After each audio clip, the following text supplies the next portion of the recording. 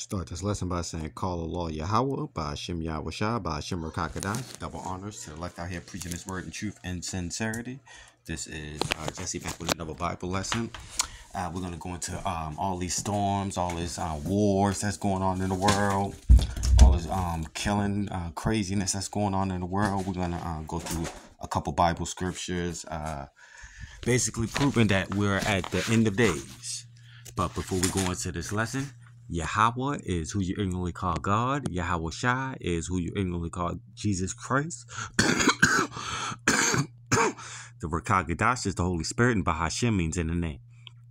So when you call on your Lord and Savior for forgiveness of sins, you call on the name of Yahweh Shai. No longer calling on that pagan ass name of Jesus Christ because the letter J was invented in 1520 four. So there's no way your Lord and Savior name could have been Jesus. It is Yahweh Shai in ancient Paleo Hebrew language. He's a so-called black man from the tribe of Judah. You so-called blacks, Hispanics, and Native American Indians, you're the Israelites of the Bible. You so-called white people, starting with the elite banking families, Rothschild, Rockefellers, Oppenheimers, DuPonts, Gettys. You are the devil that the Bible speaks of, pursuant to Job 9 and 24. The earth is given into the hands of the wicked. But that's a lesson for another day. Now we're going to go into all these storms and stuff that's going on out here and um, all these evil times. Um, evil means uh, bad times that's going on. And we're going to start with Jeremiah chapter 30, verses 24. The fierce anger of the Lord Yahweh shall not return until he have done it, until he have performed the intents of his heart. In the latter days ye shall consider. In the latter days mean the end days, you're going to consider it. You see all these tornadoes, hurricanes, whether it's man-made, by um, HAARP machines by um, Esau, e- Edom, the uh, so-called white man, the devil that the Bible speaks of, the elite banking families. Because, you know, they got patents on all types of weapons out here. So whether it's them doing it or whether um, is uh, Yahweh doing it, um, Yahweh's actually making them do it. So it's, it's the Lord that's bringing all these storms, all these wars, and all this stuff that's happening. Check it out. We're going to go to Isaiah chapter 29, verse 6. Thou shalt be visited of the Lord Yahweh of hosts with thunder and with earthquake and with great noise and with storm and tempest. That's what's going on right now. And with the flame up and with the devouring flame. Now they got um the I believe the whole state uh, I can't remember um, what state is on fire whether it's like Wisconsin or something like that and all the um, fires out in California. Um, you can actually pull it up. It's like a um, Bible. It's an app that'll show you like all the fires that's going on throughout Babylon, the great United States of America, and throughout the world. Even um, Amazon is on fire right now, and we got the great noises. Uh, people hearing noises from the sky, storms and tempests. That's what we got going on.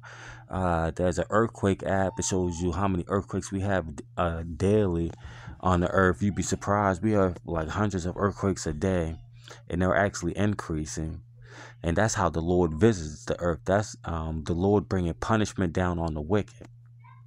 So when um, all these strong tornadoes and hurricanes come through, it is not like it is punishment from the Lord. These people are not keeping the Lord's commandments. They're out here doing evil and wicked works, and this is um this is the Lord punishing them. Because the Lord ain't gonna come off his throne and come down here and thrust a sword through your ass. He's gonna send great noise, tempest, storms, and all that. I would uh, look up the Bible verse, but as soon as I try to look it up, the whole screen gonna go blank. I don't know why my screensaver does that, but um, the spirit jumped on me to jump to another uh, precept, but I can't even pull it up because of this Bible app. The whole screen will go black if I go searching, so that's why I have to put it on this screen. But uh, anyway, the book of Jeremiah, chapter 7, verses 16. Therefore, pray not for this people, neither lift up a cry nor prayer for them, neither make intercessions to me, for I will not hear thee. The Lord said, Don't pray for these people.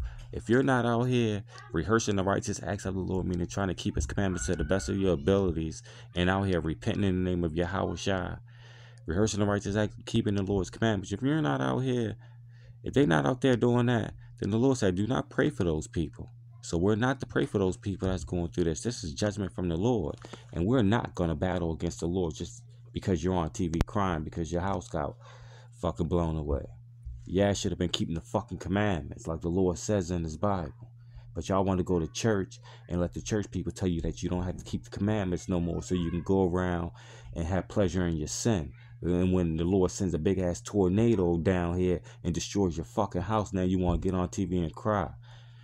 Book of Jeremiah, chapter 7, verses 16. Therefore, pray not for this people, neither lift up cry nor prayer for them, neither make intercessions to me.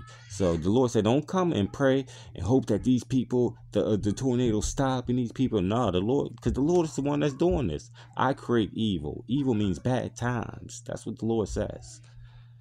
I, and the Lord said, I'm not going to hear that shit. I don't want to hear your fucking abomination. I don't want to hear the prayers because I'm the one that's sending these tornadoes. Uh, Matthew chapter 24, verse 7. For nation shall rise against nation, kingdom against kingdom. That's over in Israel, Gaza, uh, Russia, Ukraine, China, Taiwan, and the countless other wars that's about to pop off. Hezbollah and all them other motherfuckers over there, Palestinians fighting and shit. Famines, shortages of food. You got the um the dock workers striking, so the shortage of food is coming. It was already here. The pantries are already the um food pantries are damn near empty. You can go ahead and research that. So and famines mean shortage of food. So it's gonna be shortage of food in certain spots, not like everywhere, but in certain spots it's gonna be shortage of food. And this is punishment from the Lord. And pestilence, COVID nineteen, and all these bird flu, blood swines, whether the whether these white people making them or whether the Lord sending them. If It is the Lord that's doing this. Earthquakes in, in diverse places. We get an earthquake we're here in Annapolis, Maryland. When does that ever fucking happen? Deuteronomy, uh, we're going to try to keep it under 10 minutes. Deuteronomy chapter 31, verses 29. For I know that after my death you will utterly corrupt yourselves. I believe this is Moses talking to the Israelites, you so called blacks, Hispanics, and Native American Indians, and to turn aside from which the way I've commanded you, and evil will befall you in the latter days. Evil meaning bad times will befall you in the latter days and the end times because you will do evil in the sight of the Lord. Look how the so-called black Hispanics and Native American Indians people are acting nowadays. Are any of them out there rehearsing the righteous acts of the Lord, trying to keep His commandments? No, they are doing evil in the sight of the Lord to provoke Him to anger through the works of your hands. Y'all out here sinning and sinning and sinning, and your sins are building up to heaven, and the Lord sending these death angels, tornadoes, whatever, to take your ass out. We already got that. The book of Amos, chapter 5, verses 18. Woe means destruction. Destruction unto you that desire the day of the Lord. To what end is it for you? For the day of the Lord is darkness and not light. The Lord is bringing darkness. He's bringing death and destruction. And for all you people that's out here saying, I can't wait till the Lord come back, if you ain't keeping the Lord's commandments, he's going to bring your ass death and destruction. So woe unto you, destruction unto you that desire the day of the Lord if you're not out here keeping his commandments. Because that's your death sentence. To what end is it for you? If you're not keeping the commandments, what end is it for you? Your ass going to die. I think that's all I got.